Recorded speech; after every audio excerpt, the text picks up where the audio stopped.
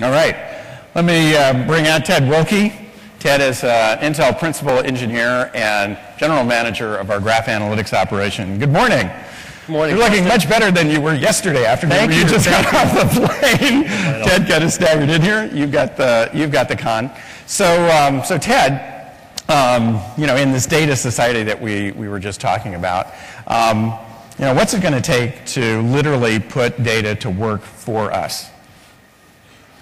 Well, data can definitely work for us, Justin. Uh, one thing it can do for us is to uh, tell us about our relationship to the world around us, the people, places, and things in it. I'm sure many of us have heard the term six degrees of separation or less separate everyone in the world.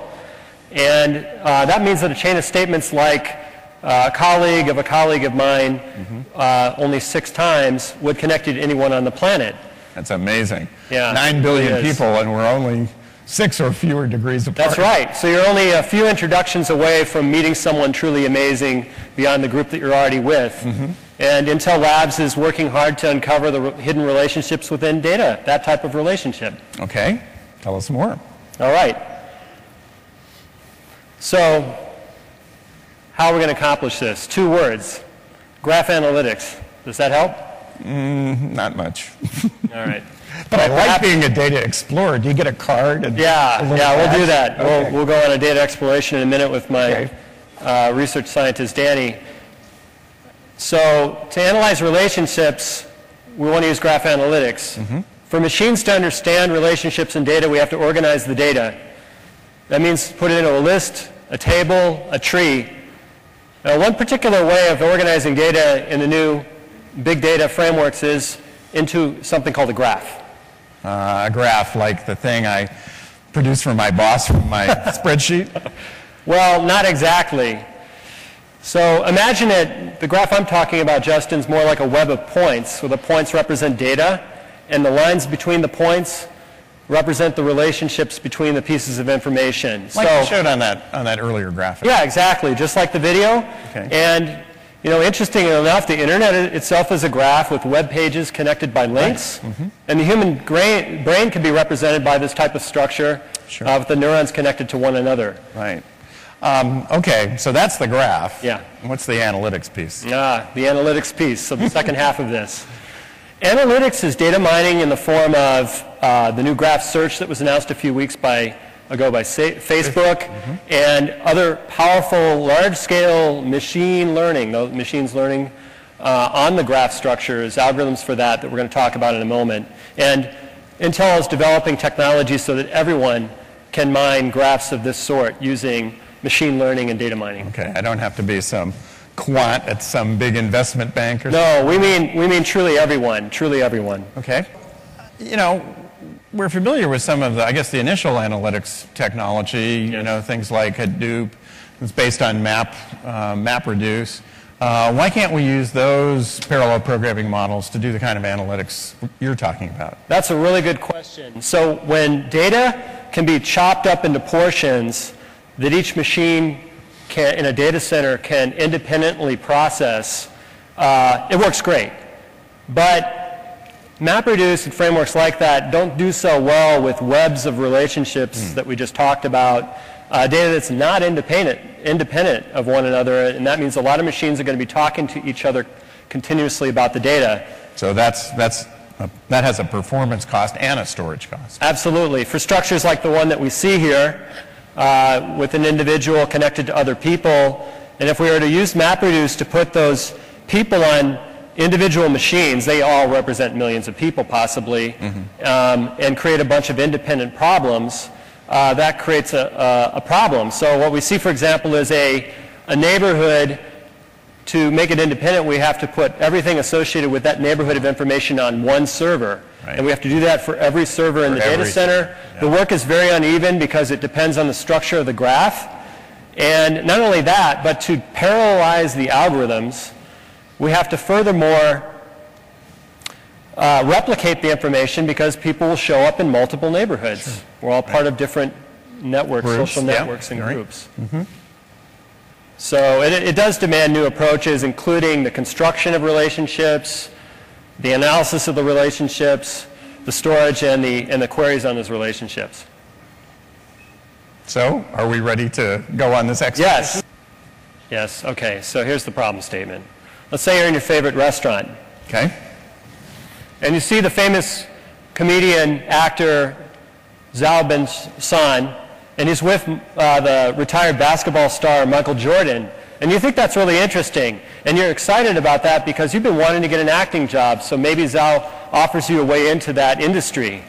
And so you'd like to connect to the cloud using a tool to learn a bit more about them to see if you can leverage any of that information to your benefit. Okay. And so what we've gone ahead and done here with this search, this graph search tool here, is to, um, we put the entire Wikipedia encyclopedia, uh, which is a user-created and edited encyclopedia with 4 million topics, onto our service. You can hear them. Yeah, you can hear the there. servers There's the loudest back. ones Right. behind the stage, and we've analyzed all the relationships with them, within them by building a graph of the sort we just talked about. Amazing. All of Wikipedia. Yeah, all of the entire Wow. Wikipedia set, we're going to analyze it in real time here. Whoa. And we can ask powerful questions like, you know, about the categories of Wikipedia. What do we know about Zhao Ben Shan? So you can see here, that we've, already, we've just run this search, and Zhao, we know he's from Tieling. We know that he's a, a Chinese film director, and, a, and he, he's a comedian actor. Well, we can ask the same question of Michael Jordan. So we can ask, you know, what do we know about Michael Jordan, and see if there's any obvious connections between the two that we could use.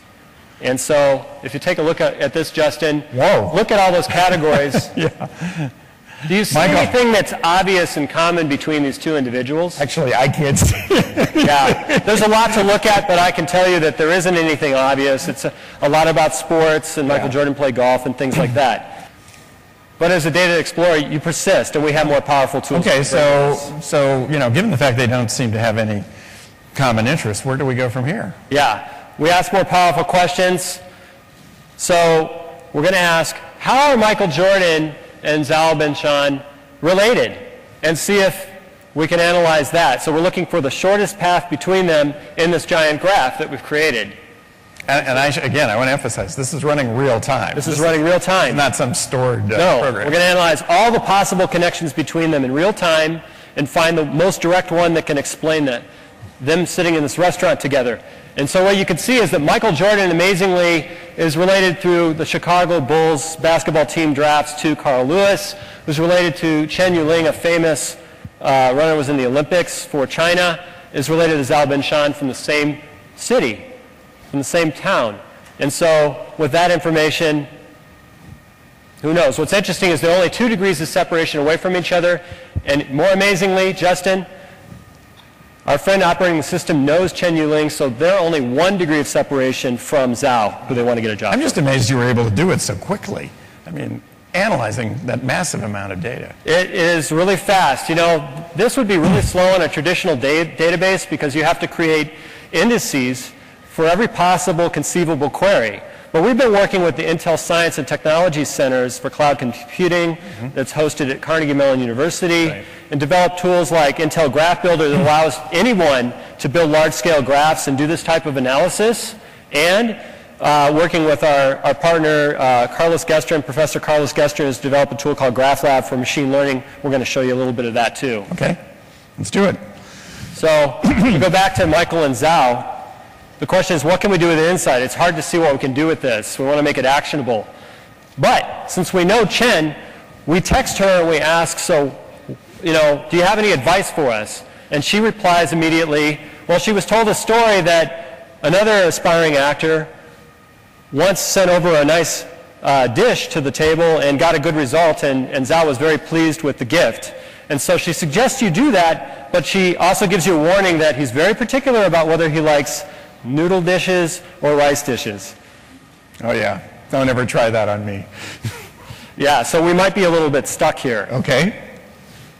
And so perhaps Graph Analytics can help us But this isn't a cliffhanger. You're not going to leave me till next Saturday. No, perhaps I won't. Okay. So the question is, can we use Graph Analytics to figure out Zhao's preferences to send over the right gift? Well, sometimes it's interesting. If we look at this graph that we've constructed out of Wikipedia, we look back at the golden path relating Michael and Zhao. They're connected to many other communities and people around them. Mm-hmm. Sure. And this is where machine learning can help. Large-scale machine learning can help us using algorithms like something called belief propagation, which is exactly what it sounds like, How does that work? well, we can try to accurately predict Zhao's preference. And the way it works is, you see there are colors around the path with other people. We don't know Zhao's, he's Gray and Michael, but the other people we know, some prefer noodle dishes and some rice. And depending on their relationship to these, to Zhao, we may be able to predict accurately what he prefers. Okay, so uh, I'm getting hungry. What's the, what's the decision? What's the recommendation there? Well, when we hit this calculate button, we're going to, immediately our machines will pass millions of messages and determine in real time that Zhao would prefer maybe a, a fish noodle dish over a rice dish 86% of the time. So that's what we send over to the table. Okay. And I guess the last question is, what does all of this mean for data explorers like myself and the data explorers we have here today? Well, what it means is for data explorers like you, Justin, that when they go on their expeditions like this, they'll be able to do this on their own data, and Intel will be there with powerful big data tools to help them out with graph analytics. All right. Well, it looks like graph analytics is something here to stay. Am I right? I think so. We've got uh, a number of surprises coming. Well, good luck in all your future research. Thank you, Justin. I know there's going to be many exciting developments along the way. Thanks again for being here. Thank you. Ted Willke, everybody.